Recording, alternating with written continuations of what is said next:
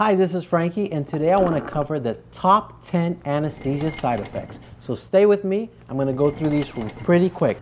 Nausea and vomiting is by far the most common adverse effect from anesthesia, and usually we give medications to try to prevent that from happening. Number two, a sore throat.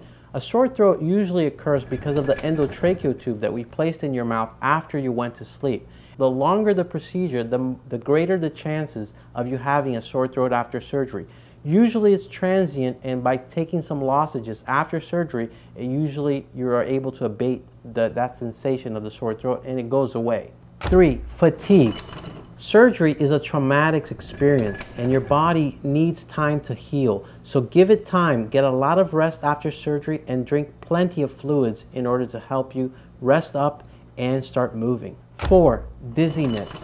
It's very common for patients to feel dizzy after surgery. What's very important is that you try, whenever you try to get up from bed, you do it in a slow, rhythmic fashion. First, you sit up in bed and you stay sitting for about 30 seconds before you actually try to stand up. That will usually go away within a few hours or days. Five, muscle pain. Because of the positioning sometimes that you are in the OR and for the extended period of time that you're in one position, a lot of times we'll have muscle pain after surgery, and especially because of the surgery itself sometimes. So it's very important just to hydrate yourself well in order to reduce that muscle pain, and with time, it will also diminish. Six, itching.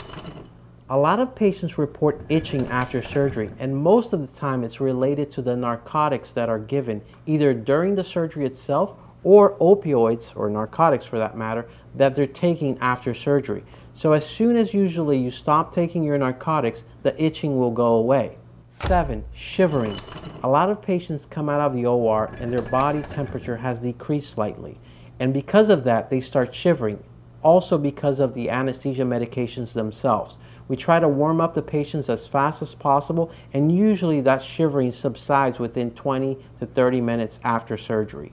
Eight, Difficulty urinating. A lot of patients report that they have difficulty urinating after surgery, and that's quite common. And usually, if you use a warm compress in your lower abdomen, it will subside and you'll start slowly starting to urinate. 9. Dry mouth.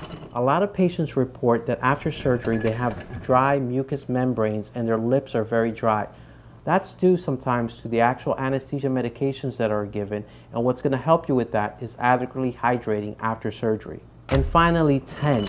Some patients report having emotional changes after surgery. And if that's your case, talk to your doctor and also use relaxation exercises in order to relax and try to reduce your anxiety, and that too will subside.